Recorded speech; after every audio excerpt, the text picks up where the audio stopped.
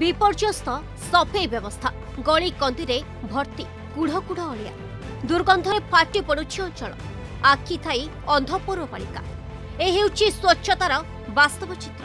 ଢେଙ୍କାନାଳର ବିଭିନ୍ନ ଜାଗାରେ ପଡ଼ି ରହିଛି ଗଦା ଗଦା ଅଳିଆ।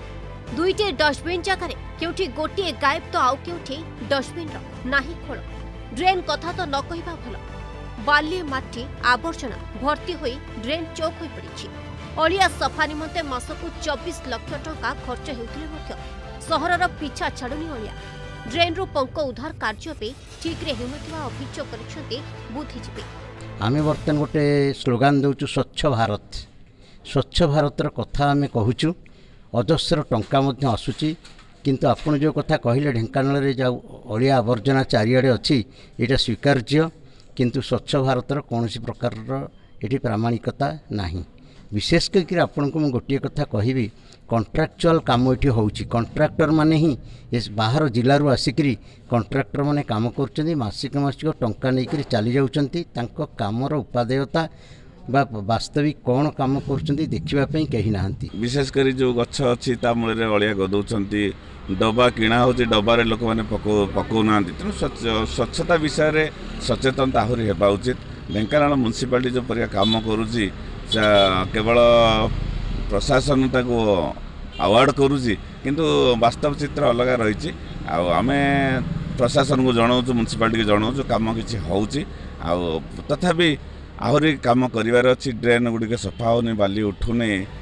ସହରର ତେଇଶଟି ୱାର୍ଡରେ ସଫେଇ ନିମନ୍ତେ ଦୁଇଶହ ବତିଶ ଜଣ ସଫେଇ କର୍ମଚାରୀ ଆଠଟି ଟ୍ରାକ୍ଟର ଛପନଟି ଟ୍ରଲି ନିୟୋଜିତ ଅଛି। ଗତବର୍ଷ ଅଗଷ୍ଟ ମାସରୁ ଟେଣ୍ଡର ଅବଧି ସରିଥିଲେ ମଧ୍ୟ ନୂତନ ଟେଣ୍ଡର ହୋଇନଥିବା କହିବା ସହ ପୌରପାଳିକା ଓ ଠିକା ସଂସ୍ଥାଙ୍କ ମଧ୍ୟରେ ମଧୁଚନ୍ଦ୍ରିକା ଚାଲିଥିବା ଅଭିଯୋଗ ଆଣିଛନ୍ତି ଆଇନଜୀବୀ ପ୍ରକାଶ କୁମାର ଦାସ। ଅନ୍ୟପକ୍ଷରେ ଅଭିଯୋଗକୁ ଖଣ୍ଡନ କରି କରୋନା ଯୋଗୁଁ ଟେଣ୍ଡର ହୋଇନଥିଲା।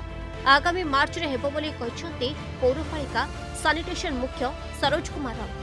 ଦୁଇ ହଜାର କୋଡ଼ିଏ ଅଗଷ୍ଟ ମାସରୁ ବୋଧେ ଟେଣ୍ଡରଟା ଆଉ ହେଇନି ତା ପରଠୁ। ସେ ସେଇ ଲୋକକୁ ପ୍ରିୟାପ୍ରୀତି ତୋଷଣ କରିକିରି ମ୍ୟୁନିସିପାଲିଟିର ଉଚ୍ଚପଦସ୍ଥ ଅଧିକାରୀମାନେ ତାକୁ ଦେଇଛନ୍ତି। ତେଣୁ ଢେଙ୍କାନାଳରେ ସଫା ହେଲେ ନହେଲେ ମ୍ୟୁନିସିପାଲିଟି ଅଧିକାରୀମାନେ ସେ ସଂସ୍ଥାକୁ ଅଳିଆ ସଫା କରୁଥିବା ସଂସ୍ଥାକୁ କିଛି କହିପାରୁନାହାନ୍ତି। କାରଣ ସେ ତାଠୁ ଉଚ୍ଚ ରେଟ୍ରେ ନେଉଛନ୍ତି କମିଶନ। ତେଣୁ ସେମାନେ କହିପାରିବେନି ତେଣୁ ମ୍ୟୁନିସିପାଲିଟି ଅଫିସଟା ଗୋଟେ ଅଳିଆ। ସେ ଅଫିସଟାକୁ ତାଙ୍କ ଅଧିକାରୀମାନେ ସଫା କରନ୍ତୁ ଆଗେ। ଅଳିଆ ସଫା ହେଉ ତାଙ୍କ ଅଫିସରୁ। ତାପରେ ଢେଙ୍କାନାଳ ଅଳିଆ ସଫା କରିବା କଥା ଚିନ୍ତା କରେ। ଢେଙ୍କାନାଳ ଅଳିଆ ତ ସଫା ହେଉନି। ମାନେ ଡେଲି ଅଳିଆ ଉଠୁଛି। ଡେଲି ସକାଳୁ ଉଠୁଛି। ଡେଲି ପ୍ରତ୍ୟେକ ଦିନ ଆମର ସକାଳୁ ଅଳିଆ ଉଠୁଛି। ଏବଂ ସେକେଣ୍ଡ ଆୱାରରେ ଆମେ ସେକେଣ୍ଡ ସନ୍ଧ୍ୟାବେଳକୁ ଆମେ ତିନିଟାରୁ ଆରମ୍ଭ କରୁଛୁ ଛଅଟା ସାତଟା ଯାଏଁ ସେକେଣ୍ଡ ଆୱାରକୁ ଉଠୁଛି। ଦୁଇ ଓଳି ଉଠୁଛି ଲୋକ ନା ନା ଡେଲି ଡେଲି ଉଠୁଛି। ପ୍ରତ୍ୟେକ ଦିନ ଉଠୁଛି। ଉଠୁଛି ଅଳିଆ ହେଲେ କେଉଁଠି ବାଇଚାନ୍ସ ରହିଥିବ ରହିଥିବ କିନ୍ତୁ ଆମେ ଉଠୁଛୁ। ପ୍ରତ୍ୟେକ ଦିନ ଉଠୁଛି।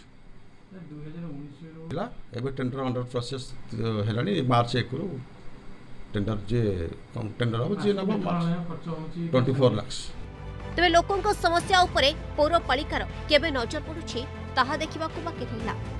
ଢେଙ୍କାନାଳରୁ ବିପ୍ଳବ ରାଉଳଙ୍କ report Argus news.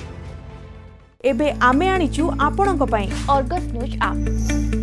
Google Play Store କିମ୍ବା ଆପଲ୍ ଆପ୍ ଷ୍ଟୋରକୁ ଯାଆନ୍ତୁ ଅର୍ଗସ୍ ନ୍ୟୁଜ୍ ଟାଇପ୍ କରନ୍ତୁ ଆଉ ଅର୍ଗସ୍ ଆପ୍ ଡାଉନଲୋଡ୍ କରନ୍ତୁ ଲାଇଭ୍ ବୁଲେଟିନ୍ ନ୍ୟୁଜ୍ ଏବଂ ଅନ୍ୟାନ୍ୟ ଶୋ ଦେଖନ୍ତୁ ଆଉ ଆମ ସଙ୍ଗେ ଯୋଡ଼ି ହୁଅନ୍ତୁ ତେବେ ଡେରି କାହିଁକି ଆଜି ହିଁ ଡାଉନଲୋଡ୍ କରନ୍ତୁ ଅର୍ଗସ୍ ନ୍ୟୁଜ୍ ଆପ୍ ସତ୍ୟର ସନ୍ଧାନରେ ଅର୍ଗସ୍ ସବୁବେଳେ ଲୋକଙ୍କ ସାଥିରେ